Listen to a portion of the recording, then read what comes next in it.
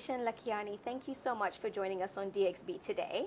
So, CEO and founder of Mindvalley, tell us why you are here in Dubai for the World Government Summit. Well, I love Dubai. I find that every time I'm in Dubai, the concentration of brilliant people here is exhilarating. Everywhere I go, every conference I attend, I just meet people who feed me with ideas. And the way I run my company is I spend 40% of my time with my team working from home or working on Google Hangouts or Zoom, but 60% of the time, I need to be out there looking for great ideas, expanding my vision, coming up with new, new inspirations. And I find a lot of that in Dubai. Oh, Dubai is attracting so many smart minds. Yes, absolutely. So, do you feel? I know you're speaking about um, leadership specifically Right. and mindful leadership. Um, is there a link between mindfulness and becoming a better leader? Absolutely. So, but first, you got to break it down, mm. right? So, the principle of mindfulness is really a key part of it is really presence and patience. It's the idea of of being able to detoxify yourself from stress mm. so that you can be grounded, you can be present, and science shows that if we can lower our stress, not only does our health improve, but our thinking improves. But it doesn't just stop there. The way we make decisions improve because you're less panicky, you have less anxiety. The way you interact with other people improve. And so mindful leadership is just one of many different forms of leadership that Mindvalley looks at. Mindful leadership is basically leadership where you're integrating mindfulness into your approach, and thus you can be present, you can be stress free, you're better able to access levels of creativity. But it's just one. Mm. There's also transformational leadership. We have programs on that as well. Transformational leadership is where the people you lead transform with you. You're elevating them. You're getting them to hit new heights. You're getting them to become the best versions of themselves. So there are many different types of leadership. What I was talking about today was just a tiny slice of the grand spectrum of leadership, and that was leadership in a mindful sense. Amazing. So it seems like it's a cure for burnout culture, you know, as most Yes. executives can definitely relate to burnout culture.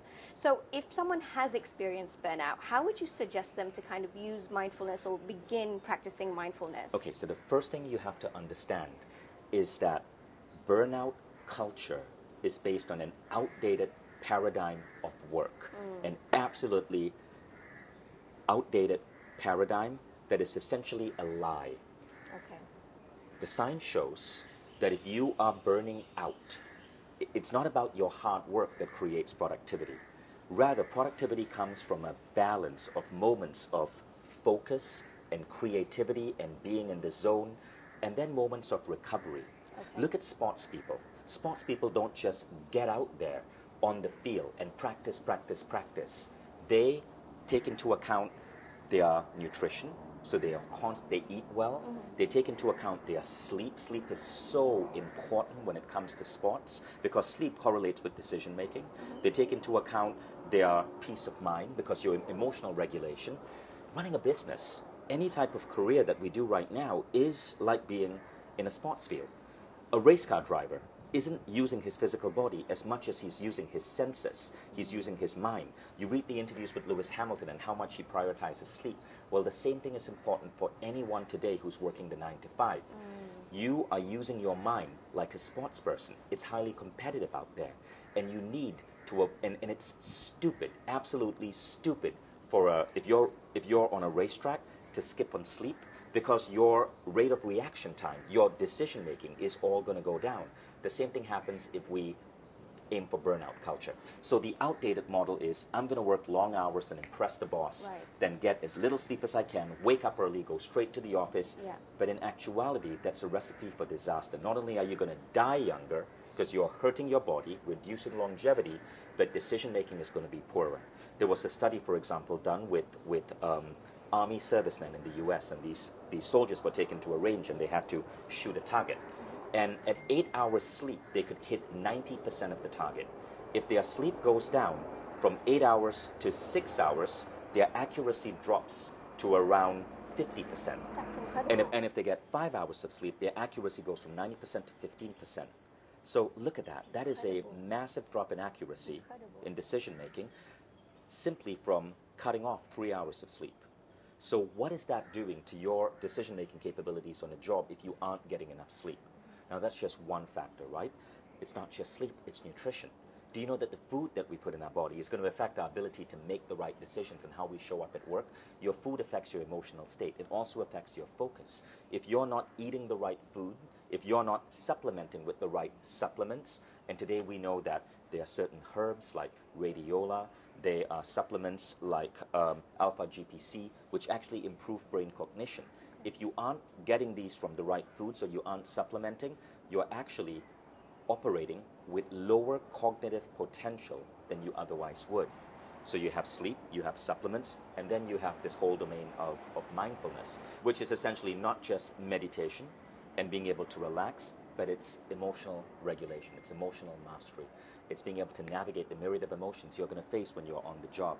All of these are things we have to take into account in the world of work. And great companies who deploy these methodologies to their employees and their C level executives simply do better. So why don't more companies adopt these methodologies do. for the CEOs? They do. Okay. When we say why don't most companies adopt these, we're actually looking at companies from a lens that's around 10 years old. Right. As recently as 2018, the majority, as recently as 2018, in a survey by Daniel Goleman, 45% of Fortune 100 companies had meditation training for their employees. Oh, amazing. As recently as 2018, and now it's probably well over 20, uh, well over 50%. That's absolutely incredible. So, one of the biggest themes of the World Government Summit this year is around education, Right. right? So, how does lifelong learning actually contribute to, you know, improving your leadership style? I'm so glad you asked that. So I was really honored to be asked by the uh, Emirati government to produce a program called Mastering Growth Mindset for all civil servants here in the Emirates. Lifelong learning is essentially mastery of what is called a growth mindset. If you look at today's world, the world is changing so fast that if you aren't, if you aren't constantly growing, you are going to be obsolete. Mm. For example, this very month, anyone working in any type of communications field, if they are not using ChatGPT, they are officially obsolete. Because ChatGPT is such a massive enabler of productivity. And if you're not doing it, your competition is the other person vying for your job. And so you, we need a growth mindset because we constantly have to be learning and growing. Now, the good news is growth mindset is not very hard to do. Mm. They are simple practices. One of the most important practices is if you're working a 40 hour week, you take two of those 40 hours and you block off that time. So maybe it's Wednesday from 4 to 6. You block off that time to stop doing what you're doing and to look at how can you be better at what you're doing. Even if you're say in customer support and if you can get permission from your boss, Yeah. you would block off 4 to 6 p.m. and you would say study books on communication or read books on customer support or customer satisfaction or maybe use that time to dabble with ChatGPT in terms of composing customer support replies. Mm-hmm. If you adopt that, you are going to constantly innovate. And the thing is, if you're not doing that, you will stay stagnant at the same level, doing the same job forever and ever and ever. But people forget that. It's so common these days to get trapped into a wheel of busyness Yeah. where you don't have time to grow. And worse, you don't have time to catch up on your sleep. You don't have time to create balance in your life. That's the wrong way. Mm-hmm. And that is going to keep you in a perpetual hamster wheel, constantly running and running and running, trying to catch up. But when you adopt a growth mindset, because you're bringing in the latest tools, you're learning and learning latest ideas, what you find is that what takes you 40 hours a week, eventually you can do it in less and less and less and less and less time. Yeah. For example, I'm a CEO. This past month, I shaved off one hour a day in work because I gained mastery of ChatGPT. Wow. Now, it took me a weekend. I sacrificed a weekend to go really deep in this new technology. Mm-hmm. But as a result of maybe that 10 hours spent on a weekend, I now save five hours every week. Communication emails, uh, memos to my team, emails to my customers, all are now significantly faster because of ChatGPT. But I took the time to learn that. That is growth mindset. And whether you're at the customer support level and you are 21 years old and fresh out of university, or you're a CEO, if you can budget that two hours a week to create what is called innovation time, you're going to get better and better at what you do. Now, of course, this is just one of the principles that I'm teaching in the uh, growth mindset program for the Emirati government. There are many other principles you can bring in, but the idea is never stop growing. And if you stop growing, you start stagnating.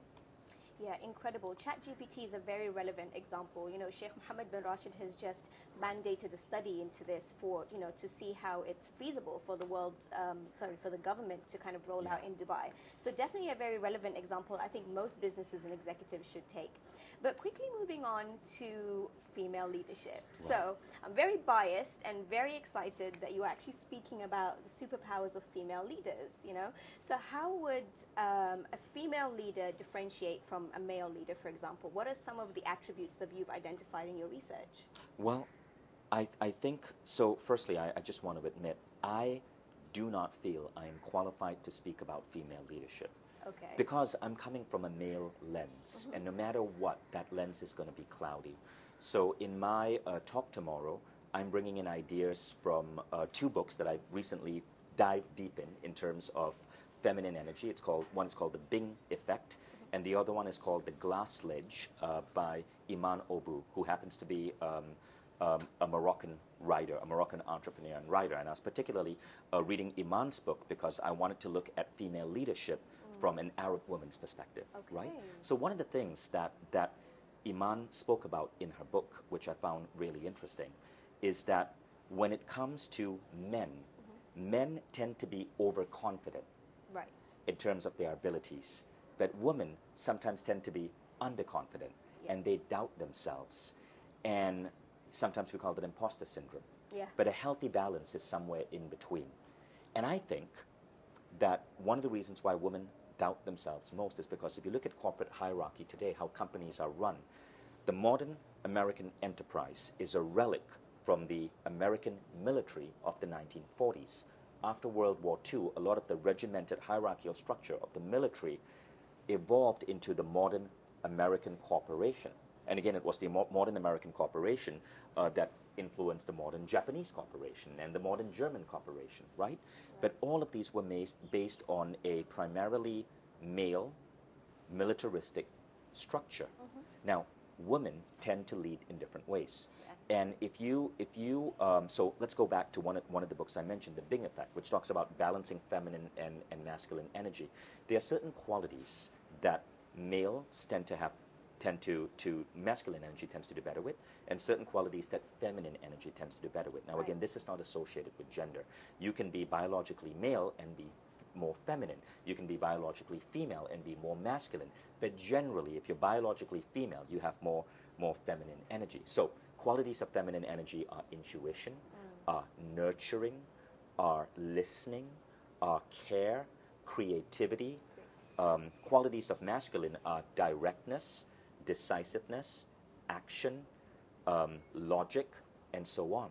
Now, this isn't just cultural programming. Some of it is if your mother or your father tells you a woman has to be a certain way, and we, we have this through our culture, Yes. then you tend to adopt those ways. But some of this also has to do with our biochemistry. Okay. For example, let's look at, the, at, at your right hand. Hold up your right hand for, for a second.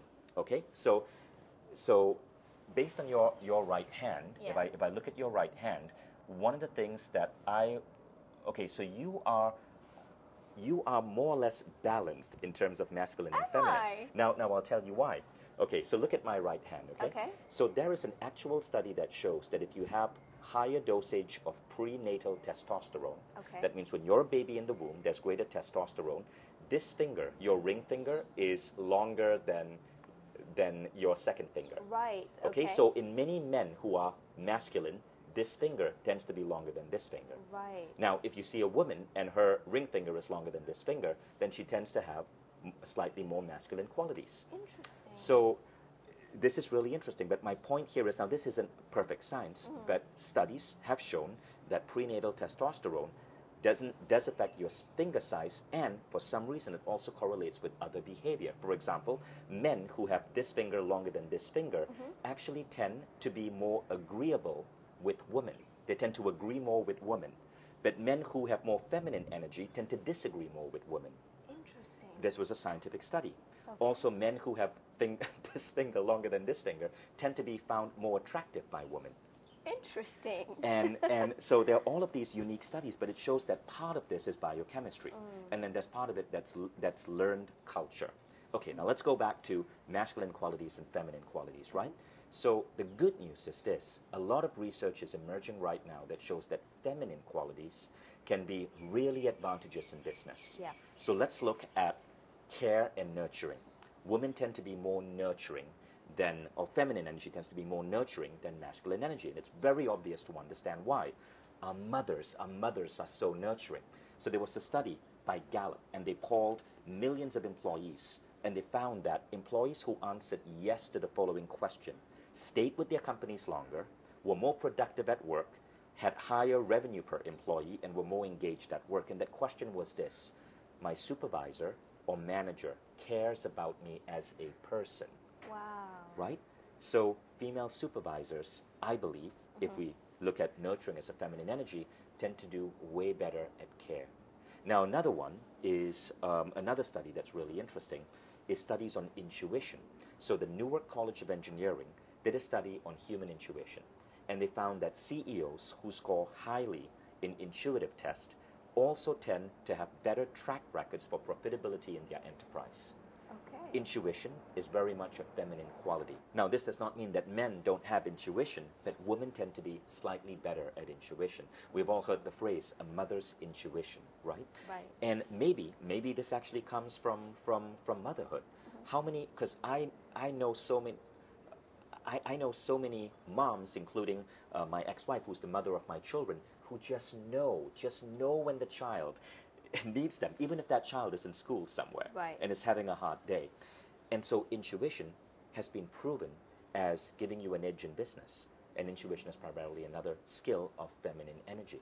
Now, again, please know that none of these are in a box. A man can be, can take on feminine qualities. A woman can take on masculine qualities. Mm-hmm. It's really useful to be able to dance that dance in the workplace and be able to understand both. Men can learn to be more nurturing, can learn to be more intuitive, can learn to be more creative. Women can learn to be more direct.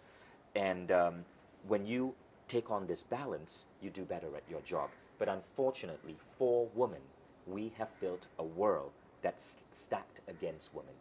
I just came back from a um, startup conference in Europe, and there was a really shocking, disappointing statistic that was shared. And that statistic was only 1% of VC money in all of Europe went to women entrepreneurs in the Yeah. past one year.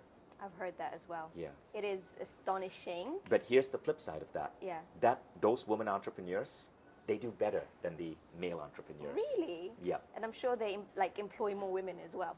Perhaps, yes. Well, thank you so much for your perspective on females. Like, I definitely, as a female leader myself, it's very valuable for us when men, we get the male perspective on female leadership. So, quickly jumping into a very exciting event happening for Mindvalley, which is its first event in Dubai happening on the 25th of February. Tell us more about why you picked Dubai and what we can expect. well, we picked Dubai because, um, and, and here I want to give credits where, where it's due. There's this Saudi born woman in my team, Ola Abbas, who for seven years has been telling me we need to expand Mindvalley in the Middle East. And I always told her, no, no, our market is America and Europe. Middle Easterners don't, are not into this stuff. Um, Ola proved to be correct. and she helped grow the company in the Middle East. And today, our highest concentration of members per capita is in Dubai Wow. And That's and it's it incredible. how massive Mindvalley is in the Middle East. Where we have a channel on Emirates Airlines, we have two Mindvalley programs which are going in the government training portal, um, and this event that we are doing in Dubai, and Ola obviously is running it, is our highest attended event in our history. But what we're doing is we're bringing in all of Mindvalley's best teachers. We identified uh, five teachers who were really popular in Dubai.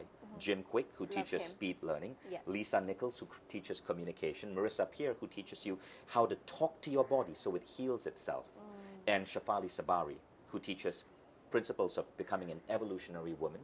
And uh, who, te- who teaches conscious parenting. All four of them uh, are some of the key teachers that we have brought to Dubai. Very excited to see that event. What can we expect for Dubai's first Mindvalley event? Well, expect to learn from these incredible teachers. Now, very often when you attend a convention or a summit, it's, it's very academic, right? Right. And, and you're, it, it feels like you're at work. You're taking down notes. You're, you're trying to digest information. Mm. This one, you, we, we don't practice learning. We practice a concept called transformation. Now, transformation is where our job is to make you walk out of that room at the end of that talk as a different person.